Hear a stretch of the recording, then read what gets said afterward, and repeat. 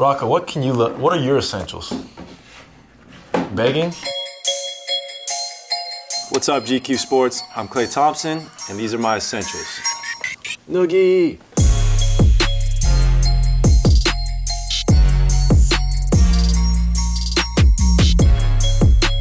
Rocco, boy, you want a treat? Rocco, get, come on.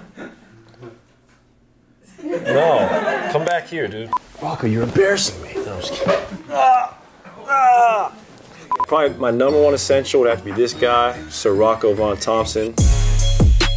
I got him my rookie year, and he's been with me ever since. He is kind of a pest at times, but he's like the firstborn. You know, he just love him unconditionally. We have great days up in the bay. You know, we have our little parks we go to. I'm big into nature and outdoors, so me and Rocco explore all over the bay, whether it's the Oakland Hills, Marin County, you know, the Presidio. I got all my spots up there. We got a little routine.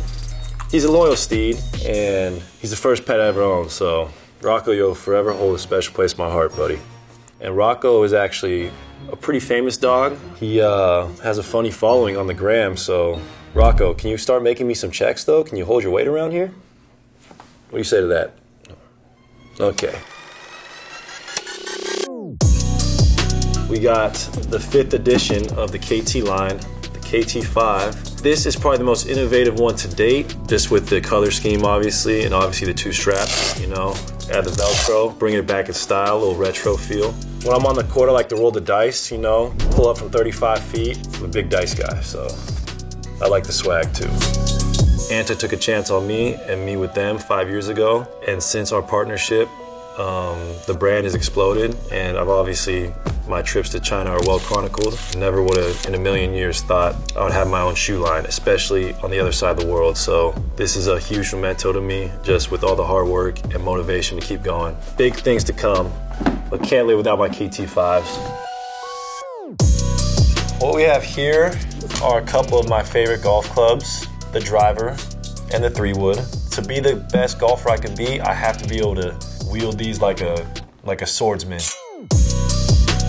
Golf is another outlet for me that's not basketball. Allows me to stay somewhat competitive, but just enjoy nature, the camaraderie of the game, obviously playing with my teammates, play with your family, friends, future children. I started to play golf age 12. My dad took me out, bought my first set. I remember going to Lake Oswego Muni as a kid, like every other weekend. He'd just drop us off, and that was our babysitter, was the golf course.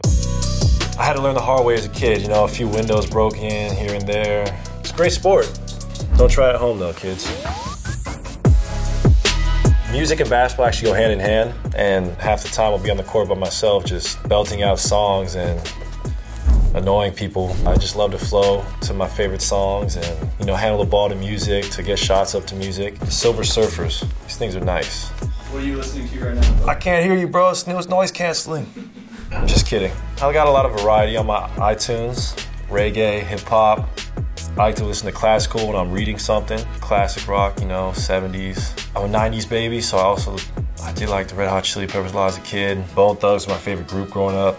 That was my first concert I ever went to. So when you hear me on the court, I'm definitely bumping a lot of bone while I'm getting shots up. Without these, I'll be very bored out there at times. Well, we got a book I'm currently reading. This is a great book. Washington Black is actually gifted to me by my girlfriend who has an amazing collection of literature. I'm only about halfway through, so I can't claim to read the whole thing, but it's about a freed slave and a place that's dear to my home, the Caribbean. It takes place in Barbados, and it's just an amazing read. I always keep a couple books with me on the road just because screen time is, I want to say it's an epidemic for um, kids my age, or grown people, I should say, but anything to get me off that screen, and I love a good book. I need to finish this though, because Laura's on my back about doing that, so I should probably, probably do that. I love the water so much, and it was a dream of mine to own a boat one day. And when I signed my, my deal with the Warriors, I rewarded myself with one, and it's honestly like changed my life. Just being able to get on the water, go fishing, go diving, you know, see the coastline, see Catalina, the Channel Islands. You know, you never know when you need escape plans, so it's nice to have a boat on hand. But it's a zombie apocalypse, you know, big earthquake, you never know what's gonna happen. So I'm so thankful for my boat and the future we have together. My watch collection here. I can't live without these. I'm big into watches. Got the name engraved. This is your time, the Tissot mantra.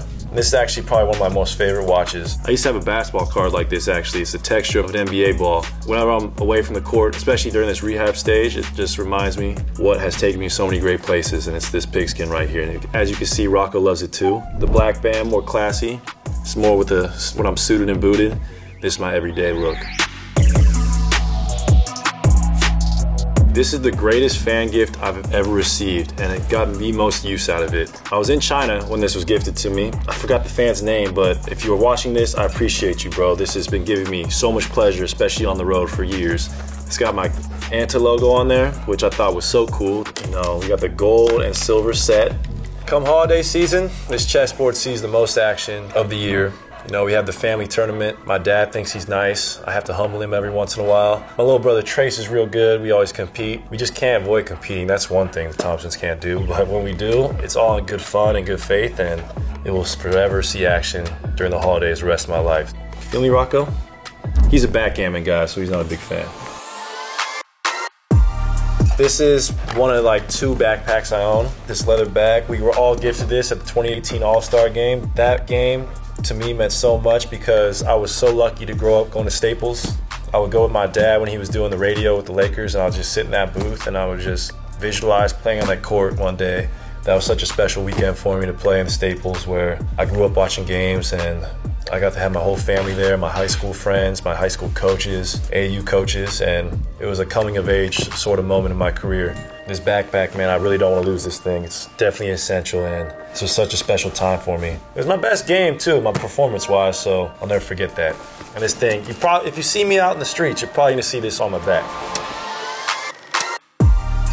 Socks, man. Can't go wrong with these Stance socks. This is an essential item to me because I live my life running up and down a hardwood court, and you gotta take care of your feet.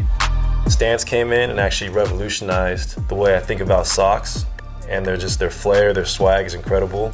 I'm pretty superstitious as well, so if I have a big game and a certain pair of socks, like the Yoda socks in 2016, I know I gave those a shout out. I'll just wear them again to try, you know, enhance my superpowers on the court. Shout out to Stance for hooking me up. Throw me that one, it'll be fine. I'll keep Rocco off me. We got these duck, uh, these look like a platypus's feet, but they are really nice. And as you can see, Rocco's really into the rubber thing. Can you chill for one second? You're not a retriever, you're a bulldog. Sorry, man. Anyways, Rocco has no manners, but I'm big into cross training and I love to go diving, especially free diving think it's so good for the diaphragm, for the lungs, for your breathing. And I actually found a size of fins that fit me. So these have me feeling like a dolphin under there. I look pretty goofy in them, but they get the job done. All right, man, that's enough. Nope.